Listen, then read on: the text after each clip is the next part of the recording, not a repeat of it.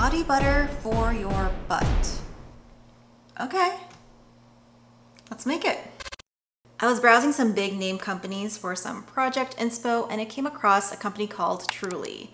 They're mostly known for their unicorn fruit whipped body butter that went TikTok viral a few years ago. And while I was tempted to recreate that body butter, I was more intrigued by this product. Their Berry Cheeky Clearing Butt Butter. I wanted to check out which ingredients they were highlighting as their key ingredients. And they list three, strawberry, blueberry, and allantoin. And when you check out their ingredient list, it's at the end right before their colors and fragrances. And that's not a knock against this company. For most active ingredients, you don't need very much in order for that ingredient to make an impact. In fact, allantoin has a max usage rate of only 0.5%. When it comes to what this body butter is mostly made of, it's gonna be the oils and butters. And for this particular product, it's shea butter, cocoa butter, coconut oil, jojoba oil, and almond oil in that usage order. And when I saw that, that looked really familiar to me. These oil and butters are the same oil and butters that I use for my anhydrous whipped body butter recipe, except for the jojoba oil, I use hemp seed oil instead of jojoba oil, but it's pretty similar. And that is actually perfect because I could work off of my recipe as a base for when trying to dupe this product. All I have to do now is just to add to my recipe and remove percentages from the existing ingredients. And that's how I tweak everything from there. For example, as I mentioned, allantoin has a usage rate of 0.5%. So to include that in my recipe, I'm going to have to remove 0.5% from another ingredient to keep that percentage at 100%. A note on allantoin. Allantoin is a water-soluble ingredient, meaning it needs water to fully dissolve. And I love adding allantoin to my emulsifications, my lotions, my creams, all of my formulas that have water in it. In this formula, however, we have zero water. There is some debate as to which phase you're supposed to add allantoin in. Some people, like me, I like to add it in the heated water phase. Other people like to add it at the very end during the cool down phase. But there is one thing that everyone does agree on, and that is that allantoin needs water. However, here it is on Truly's ingredient list without its buddy water, so we're gonna experiment here and just try it. And when I do a product, I can't help but try to improve it. So that's what we're gonna be doing here. I decided to add an emulsifying wax. And for this recipe in particular, we are using BTMS 50.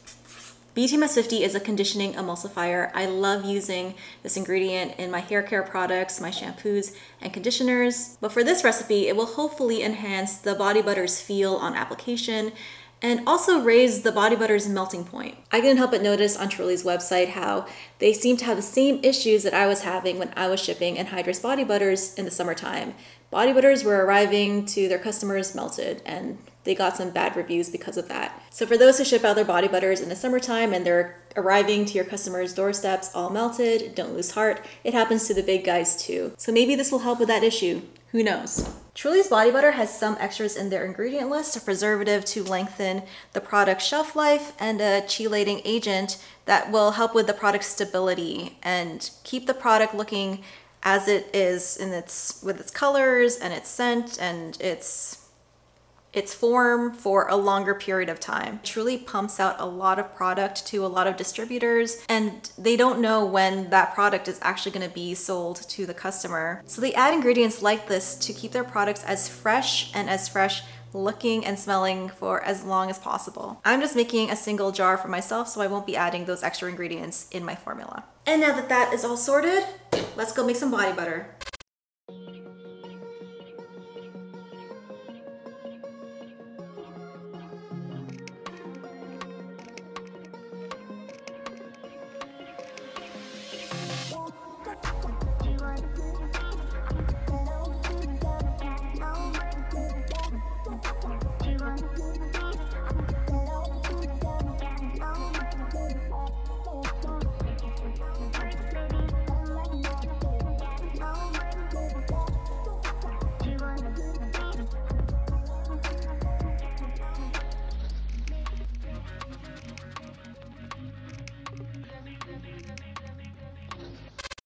So all of our oils and butter have melted and so has the BTMS 50. And I also added in some cetyl alcohol in here too. Now we're just going to rapidly cool this down by sticking it in the fridge. And I'm gonna do that for about an hour And after an hour, it should start to harden up a little bit. Not all the way, just a little bit, and then we'll move on to the next step. So here is the body butter after it's been chilling for about half an hour. And you can see it's starting to solidify. So now is the point where we're gonna add our next set of ingredients. We are gonna be adding arrowroot powder and the allantoin powder that I mentioned. Arrowroot will help absorb some of the greasiness of the body butter. And then we have the allantoin and we're just going to mix it in until it's dispersed. So now we're gonna stick it back in the fridge to continue cooling and solidifying. And as it continues to cool, let's pick out our fragrance oil. When you look at the reviews, people describe the scent as being a mix of strawberries and blueberries. So I went through my collection of fragrance oils to see if I had something similar to that and I'm gonna try a blend of a few fragrance oils. Pink Guava by Morouge. And this has orange, guava, peach, strawberry, and vanilla notes to it. It's a really nice, light, kind of fizzy fruit scent. Strawberry Shortcake by Fizz Fairy. This is a super sweet strawberry scent with that pastry element to it. And last I'm gonna be using blueberry fragrance oil. This is from Windy Point. Blueberry fragrance oil does smell like blueberries, but it has a bit of pastry vanilla in there as well. I really like it, but if you're not heavy on fragrance oils that smell like food, then both strawberry shortcake and blueberry aren't for you. yes, that blend smells amazing. Love it. In Truly's ingredient list, they have strawberry extract, and I have some from Brambleberry, and this is actually oil soluble, which is awesome. And last, we're gonna be adding some vitamin E which our skin absolutely loves. Not much, just that much. That amount is perfect. Here is the solidified body butter. Yeah, it's pretty solid. We're now gonna add our cool down ingredients to this and then start whipping it up in the stand mixers. And we are going to transfer the base into this bowl. If I'm finding that the body butter isn't whipping up, then I'll transfer it to the smaller bowl. We'll see. We'll start with this. So let's just move that into there. So let's see if this whips up or not.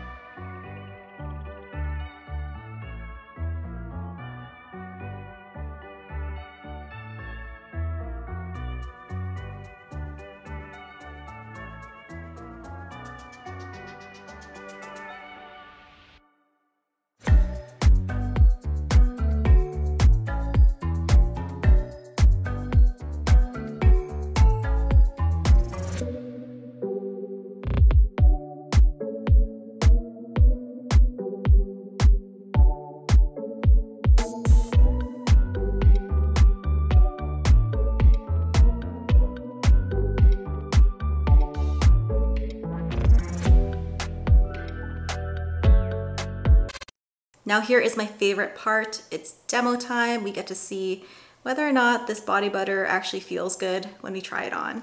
I can tell you that the blend that I chose is amazing. Just gonna grab a little bit my finger. I'm gonna try a little bit on my forearm. I'm feeling for that sharding sensation with the allantoin.